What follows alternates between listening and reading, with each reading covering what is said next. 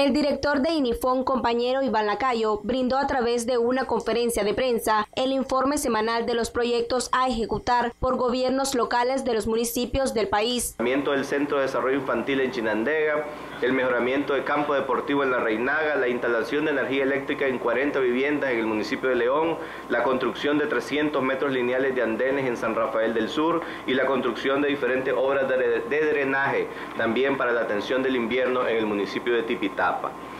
Durante la conferencia remarcó la continuidad de entrega de viviendas, inauguraciones de calles, infraestructura escolar, caminos rurales y obras de drenaje pluvial, proyectos que han venido cambiando la vida de la población. Este, en este marco de este programa seguimos avanzando en nuestra meta nacional de entregar 50 mil lotes y 24 mil viviendas.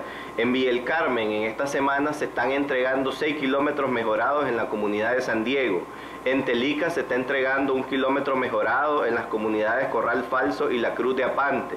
En San Nicolás, un sistema de agua construido en la comunidad Los Bordos. En Estelí, un sistema de agua también en la comunidad El Regadío. Y en Matagalpa, un sistema de agua mejorado en la comunidad Humaiquí. De igual manera, informó sobre las actividades recreativas que estarán organizando gobiernos locales para el cierre de este mes de julio. Entre ellas queremos destacar el 23 de julio, la celebración del Día del Estudiante Nicaragüense, que se estarán realizando diferentes actividades, festivales culturales, carnavales, caminatas, ligas del Saber, entre otros torneos. A su vez, se estará conmemorando el 133 aniversario de la publicación de la obra de nuestro insigne poeta Rubén Darío.